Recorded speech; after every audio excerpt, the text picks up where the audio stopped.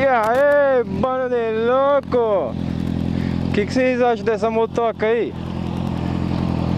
E aí, Roadrunners, essa é pra tu, rapaz. Tem uns LED aqui, não sei se é original.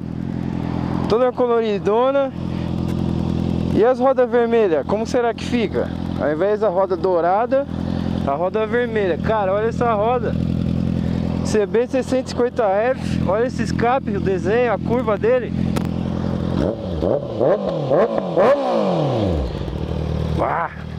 Tá roncando legal, hein?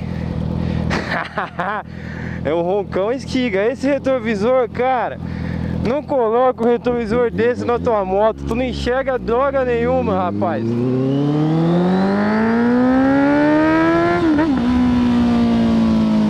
Ah, será que tá roncando? A seta é na buzina, velho. Será que tá gravando? Tá. A GoPro esse já travou, deu problema. Só um test ride. Nossa, cara, o ronco tá forte, hein? Eu não vi nem a marca do escape, mas ele é full. Acho que é trocado desde o do coletor aqui. Cara, a moto é bem macia, essa CB 650F. Eu já fiz o teste nela, do meu amigo Roadrunners. A dele, se não me engano, é uma 2015 preta. Essa aqui, cara, eu não sei o ano, eu sei que ela tem ABS. Eu sei que ela é muito colorida pro meu gosto.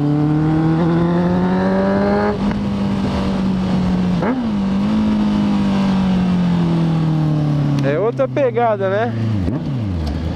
Ó o tiozão, não tá nem vendo a motoca. Cara, vantagem da 600 em comparação com uma 800 Ela é muito mais leve, cara, nesse tipo de, de trajeto, entendeu?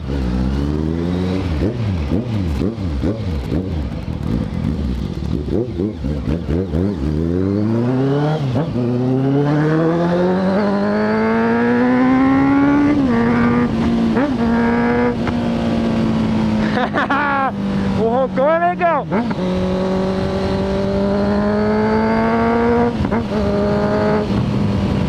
Cara, a diferença dela para uma Hornet, para Hornet qualquer modelo delas,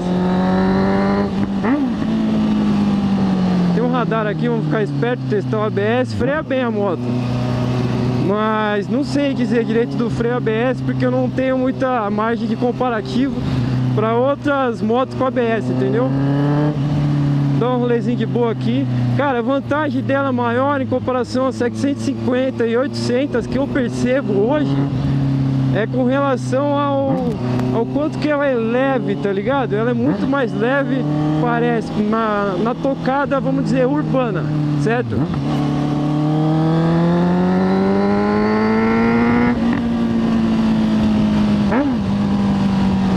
Cara, o roncão tá bonito, hein? Hã?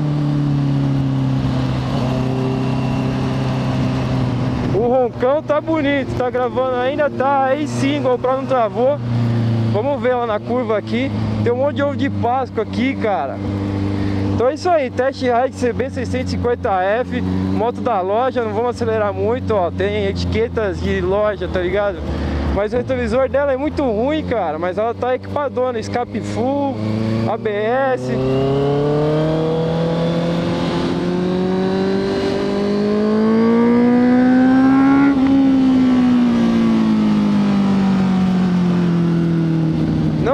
Indicador de marcha e a minha impressão é que não tem é, marcador de temperatura, é isso mesmo? Quem tem CB 650F aí, Márcio Roadrunners Não tem indicador de temperatura, é isso? Ai, ai, ai, aqui, ó.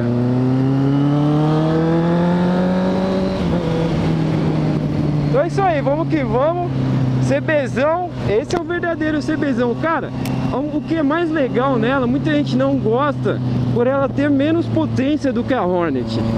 Mas a real, qual que é a pegada? Ela tem menos potência, mas ela ficou com uma pegada muito mais gostosa para tu andar no dia a dia, para tu andar no uso urbano, entendeu? Ela não demora para encher igual os modelos de Hornet, ela já vem cheia desde aqui dos 3, 4 mil.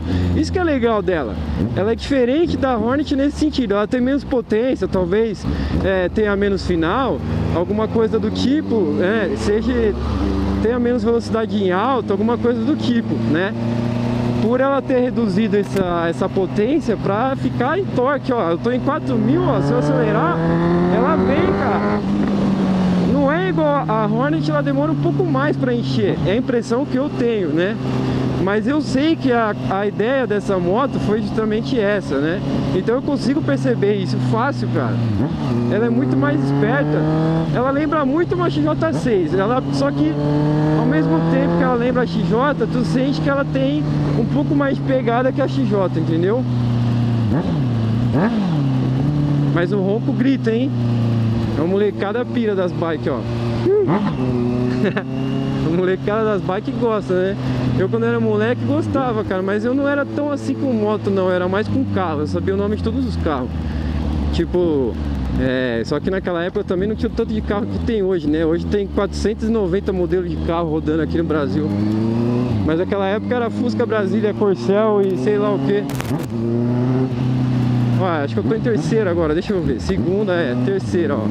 Terceira marcha, 50 por hora, andando na cidade. E aí se tu quer dar uma puxada, ela não demora pra vir, entendeu? Se é uma Hornet, ela já demora, ou tu tem que abaixar uma segunda, ó. Terceira, ó. Ó, 5 mil. Ela já abre bem forte no 5 mil. É muito louco isso dessa moto, eu achei, cara. Quem já pilotou a CB650F aí, deixa nos comentários se é essa impressão que tu teve. É...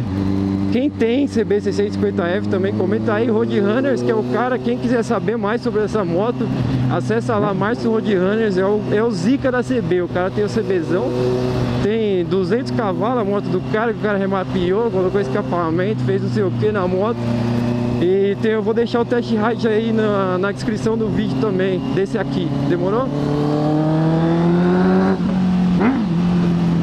Cara, ela tá roncando muito alto, mano. Não sei qual que é desse escape, a marca, nem nada. É, se tu quiser saber, procura aí, volta o vídeo e vê no começo aí da parada. Mas, cara, ela é muito leve. Isso me faz pensar que a 600 é vantajosa, tá ligado? Isso aqui, ó, da 600, pro dia a dia. Porque eu, no meu caso, eu vou usar a moto no dia a dia, entendeu? Direto. Então tem, tem que levar em consideração tudo isso daí. Mas é isso, tem um sinal chato aqui, já vai abrir. E vamos continuar. Seguro dessa moto. Não é tão caro Em comparação com uma XJ6 Em comparação com uma Hornet Ela é seguro A valor de seguro de bandite Tu pode se dizer.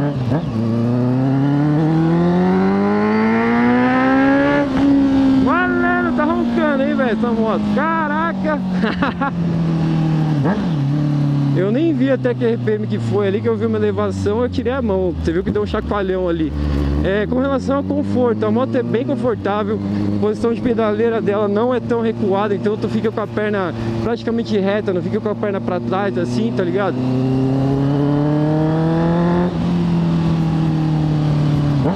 Uma moto gostosa, cara, é uma moto de se pensar, na categoria 600 aí, se tu tem o pé atrás com essa moto por causa da Hornet, coisa e tal, cara, mude o seu conceito, mude o seu pensamento, mude a sua opinião, porque a hora que tu pegar isso aqui pra andar no dia a dia na cidade, tu vai ver a diferença que é, meu. Ela é muito mais esperta. Lógico, não estamos falando de uso em rodovia, não estamos falando de potência, não estamos falando de velocidade final, não estamos falando de nada disso. Estamos falando do quanto que a moto pode ser mais divertida e prazerosa para se pilotar em todas as situações. Essa aqui é uma moto capaz disso, entendeu? E ser divertida para toda hora, dia a dia, viajar, é, estrada, cidade, garupa, sem garupa, é confortável, é macia. Então, é tudo isso daí. É uma moto leve. Se tu quer uma moto mais pesada, Pense na 750, 800. Esterçamento dela é bom, mas ao mesmo tempo não é tão diferente da 750, 800. A diferença é que o peso da moto dá a impressão que é muito mais leve, tá ligado? Essa que é a vantagem. Bom, ainda tá gravando. Fico feliz de poder ter conseguido gravar esse esse vídeo e de principalmente de ter conseguido fazer esse teste aqui, né? Então ativa o sino aí, deixa o like, porque eu ouvi gente falando que se não deixar o like agora, não tá enviando mais as atualizações de vídeo. Não sei se é verdade, mas na dúvida, se quiser eu agradeço. Se tu se interessar em ver mais vídeos, procura aí também. Dá uma fuçada aí que tem bastante test ride, tem uma playlist, playlist de test ride. E é isso, acho que é só. Os caras falam que eu não fico demorando pra falar vídeo. Toma aí esse vídeo aí, rapaz. Aí, rapaz. Cara, depois do 7, depois do 7000, tá foda, hein? Tá roncando muito, cara. Não sei se a câmera tá boa, se ficou um pouco pra cima, desculpa aí. Não vou pegar a rodovia com ela, porque, cara, eu tô com uma bermuda aqui que tá minha carteira, documento, chave tá uma bagunça, vai voar isso aqui, porque eu no bolso, cara, esse bolso aqui não dá, desculpa aí. Queria também, mas acredito que as impressões das, das rodovias sejam as mesmas aí do comportamento dela que tem um test ride que eu vou deixar o link aí, certo? É uma moto gostosa, cara. É uma moto confortável, macia. Muita gente não acha o painel dela tão bonito. Eu também, particularmente, não acho tão bonito assim. Se não tem o um marcador de temperatura, eu acho que devia ter. É, numa moto 4 cilindros é bem importante isso. No indicador de marchas, em uma 600, não é tão necessário. Porque tu consegue saber bem que marcha que você tá. Agora, a temperatura é legal para tu ter a noção, entendeu? Vou passar aqui umas ruas de bairro, meio buracada, para ver como a moto se comporta. Cara, a moto é muito gostosa muito macia. É aquela moto que não cansa tu a pilotar. Ela tá com os manetes curtos aqui. Esse negócio de manete curto é ter que tomar cuidado para não pegar um de má qualidade aí. Esse aqui tá escrito que é Spencer. Eu nem sei de manete qual que é bom, qual que não é. Mas, cara, ele é muito... Eu não gosto de coisa muito assim, tá ligado? Solta. Não sei, cara. Não é igual ao original. E eu desconfio que alguns, a longo prazo, pode prejudicar um pouco a sua embreagem. Eu não recomendo, nas minhas motos eu gosto de deixar manete original. Retrovisor já troquei algumas vezes, mas o manete, cara, é bom deixar original. Não é por nada não. Tem uns que é, esse aqui talvez, ele não aparente ser de tão má qualidade, mas ele é muito leve, cara. Aqueles que se tu cai, ele não quebra, tá ligado? Se tu cai, ele não quebra, mas tipo assim, se eu cair com a moto, cara, o manete é o que menos vai importar na minha na minha situação, tá ligado? De, de queda. A primeira coisa que vai importar é a minha pessoa, né? O meu corpo. A segunda coisa, cara, pode ser o tanque, pode ser, sei lá, a roda, o guidão. A última coisa vai ser o manete retrovisor que tu vai se importar. Pode ter certeza, só pode ficar chato se quebrar o manete ou se tu tomar uma queda besta. Às vezes tu pode ficar sem conseguir ir embora esse tipo de manete aqui, se for uma quedinha, um tombo, que vamos supor, só ia quebrar o manete, ele não vai quebrar. Mas, porra, cara, eu não sei, eu não gosto desse manete, essa é a verdade, é a minha opinião. Quem gosta, usa, acha muito louco. Eu acho legal porque tipo, ele fica bem no dedo aqui, o final dele, né? Mas questão de passar em corredor, essas coisas, de boa. Mas esse não é o assunto do vídeo, o assunto do vídeo é CB 650. É um motão, cara. Se tu se interessar, tiver buscando uma moto nessa categoria 600, pense nela, compare o valor de seguro dela com as outras Hornet XJ6. Seguro XJ6 tá mais caro que de Hornet, cara, se tu quer saber. Procura aí pra tu ver se eu tô mentindo.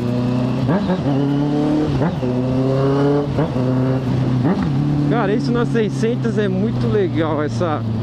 Ela é muito leve, tá ligado? Muito na mão, assim, sempre. E essa moto ficou legal isso, porque a Hornet não é assim, cara. Não é assim. Ela tem um fôlego absurdo. Depois dos 7, 8 mil, ela parece que não vai ter final também. Não vai ter fim o motor. Mas até lá, ela é um, pouco, um pouquinho mais demorada, entendeu? Mas o ronco tá demais essa moto, cara. Esse escape aqui eu não sei também se ela não é categoria das motos que tem aquele roncão maneiro, provável que deve ser. Eu tenho que vir aqui. O ABS eu não tô nem usando, mas é um freio muito bom da moto.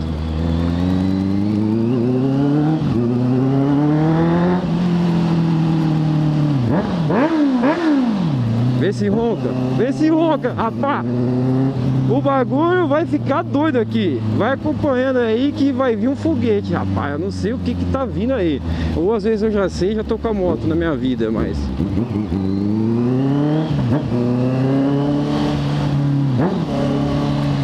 Vamos ver o que vai pegar, demorou? Ó, cara, ela é muito levinha. A Zeja é uma moto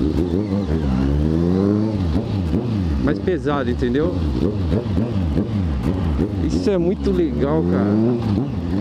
Pra quem anda em, em, rua que tem mais trânsito, cara, isso aqui eu acho que não tem, cara. Se tu for pensar, não precisa mais, cara. Isso aqui já anda muito qualquer situação. Mas, pô, um indicador de temperatura ia ser legal, hein, dona Honda? Eu ia ficar feliz, ó, o chegou no final, entendeu? Tive que apoiar o pé porque eu achei que ela ia esterçar mais. Então tem que, tem que acostumar, ela não esterça tanto assim quanto ela parece não. Mas é bom, o esterçamento dela é tranquilo, dá pra se virar e outra. A partir do momento que tu compra a moto, cara, ela vira parte da tua vida. Tu acostuma com ela de um jeito, entendeu? Quem tem moto, qualquer moto, pode ser umas 100 cilindradas. Sabe disso que eu tô falando. A moto, tu acostuma com ela de um jeito, com a forma que ela acelera, com a forma que ela freia, com o tanto que tu pode frear antes dela derrapar, e tudo isso aí. Cara, é muito gostosa a moto. Tô sentindo ela um pouco quente, mas eu não consigo saber que temperatura que ela tá. E não tem, cara. Tem relógio, tem marcador de combustível, quilometragem, tá com 9 mil rodados.